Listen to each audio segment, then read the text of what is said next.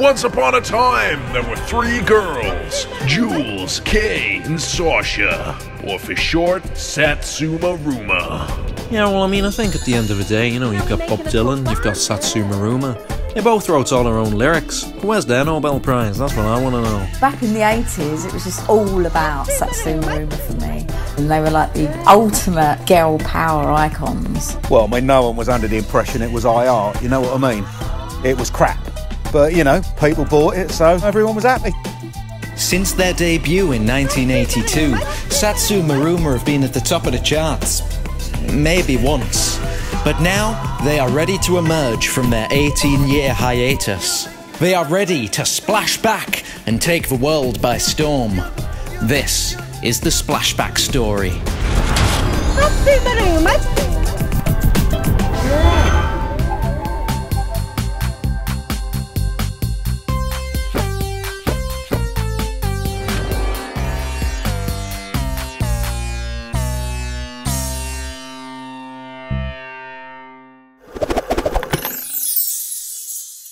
Here we join three familiar princesses, some years into their happily ever after. El's just taken himself off to Morocco to buy another load of flying oh. carpets. Oh, what more? Alea has really taken off. Oh, who knew there was such a big market for budget flying carpet flights? And he's left me with another job lot of lamps to polish. Mm. Oh, Gaston said he'd got some things that needed wubbing and going round this afternoon to help him. No, doesn't Beastie Boy mind? Oh, no, he, no, he doesn't. He's going for an ear, nose and throat trim to the barber's. Is that all? Oh, he'd have to have a full body wax daily before I'd let him anywhere near me. Well, at least I don't need seven little men to keep me satisfied. Oh, bless them. Mind you, they are getting on a bit now, aren't they? Hmm. Gummy, wrinkly, squirty, flabby, saggy, farty, and oh, little leaky. but how's the prince these days? Ugh, He's on some reforesting conservation project with that wretched woodcutter. I haven't seen him for the last two months. That must be very hard for you. Well, I see Beastie Boy every day, but Gaston does get upset because he's on his own. He's always so relieved to see me. You're so lucky. Oh, but Jazzy D, you've always got Aladdin. Aladdin? uh, lad in. Oh, right. I think it's time for me to go. Mm, me too. Oh, but where are we going for our girls' night out? Leave it with me. I'll ask Gaston. He knows all the best places.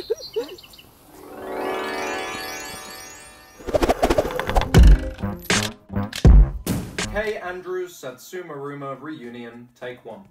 You will never guess who has just been in my award winning hair and beauty salon. My dear old friend, Amanda Holden. She said to me, Kay, when are we going to see Satsoomarooma back in the charts? Although she thought perhaps Jules and Saoirse were probably past their sell-by dates. Anyway, that got me thinking. I am sure I could do wonders with them in my salon. But first of all, I have to track them down. The last I heard of Jules, she was living on her mushroom farm down in Devon. And I know that Saoirse was working with Larry Less, the music producer. But that all seems to have gone a bit quiet.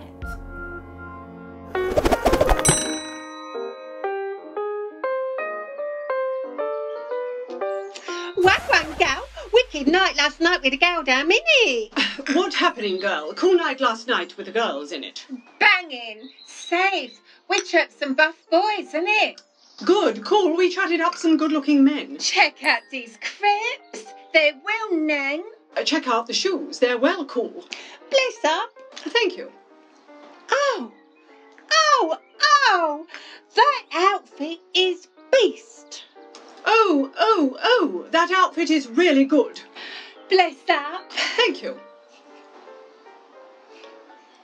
Did you see that Manta Shelley down the market? Tourist. Uh, did you see that ugly Shelley down the market? Clueless. She was so wavy at the wheat sheaf last night. Chirps in with Tarquin.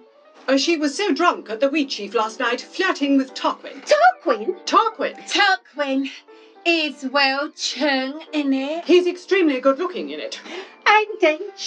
Oh, we We should roll with Tarquin, have a joke like, bit of a ting thing. And strong, we should hang out with Tarquin, have some fun, bit of a flirt. He's such a tunk and dapper. He's so muscular and smart. I wouldn't say no to a mashing. I'd really like to have intercourse.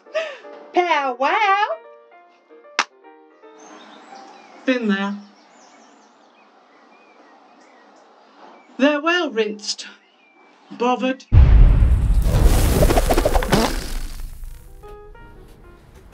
Morning, Marissa. Oh, morning, Maureen.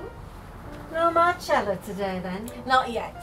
She sent me a message to say she's just fixing her drawers and she'll be here in a minute. Oh, I had trouble getting mine on this morning. Oh, sorry I'm late. Oh, hello. I hear your pants are falling down. Oh, I'm not wearing any pants. No, I've been busy waxing. Well, it was my flaps. They were all jammed up, so I've had to use a lubricant. Oh, what did you use? Beeswax. Oh, didn't that sting a bit, love? No, no, I wore gloves. Rubber gloves? No, I wore my sheepskin mittens because I thought I could give the knob a, a polish up at the same time. Oh, so uh, is the knob all shiny now? Oh, yes, it's gleaming. Well, Arnold had to pull the flaps back in order to sort of yank it out. It was so jammed up. You never guess what caused it? No, I don't suppose we would. It was my auntie's crocheted angel off Christmas tree that I mislaid in 1974. oh, look, the bus is coming. Good news! I managed to track Jules down.